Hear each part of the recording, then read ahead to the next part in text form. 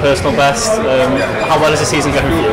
Yeah, it's, it's, going really well. It's just uh, I feel now I'm kind of really getting into some good shape and the confidence is high and that seems to be making a difference. And back to back PBs, yeah, it's all just coming together at the right time now. Hopefully, I can carry this momentum into the trials and obviously into the World Champs in Moscow. Do you think having Perri in that race was a big distinction in getting you even further down in PB? Oh, definitely, yeah. That's the thing, you know, these are the girls that you're going to be racing, you know, in the likes of the, the finals and the semis at the World Championship. So you really wanted to get there and beat them. And, you know, the good thing was that Perri and I, we beat a couple of girls there that were ranked ahead of us in the world this year. So that's the thing, it's, it's all about performances and, you know, times are a bit irrelevant when it comes to races. You just want to go out there and beat them. and the fact that we taken a couple of good scalps there just shows that we're in good shape going into Moscow. Do you think sub 54 is on the cards this season, given how well it's going? Yeah, I'd say so. In fact, the fact that that was 54 2 wasn't the smoothest race that I've had, and obviously conditions were a bit windy. So yeah, I think everything coming together, I can knock that off. How important is it for you to get on the 54 before the Worlds?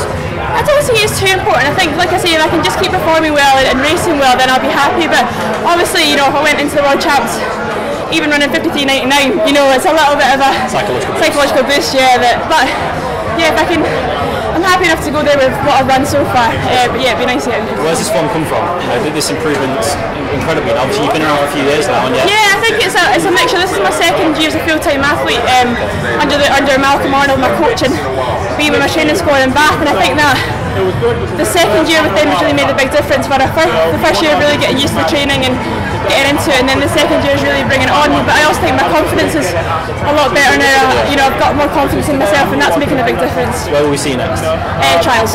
Good luck. Yeah. Thanks very much. Cheers.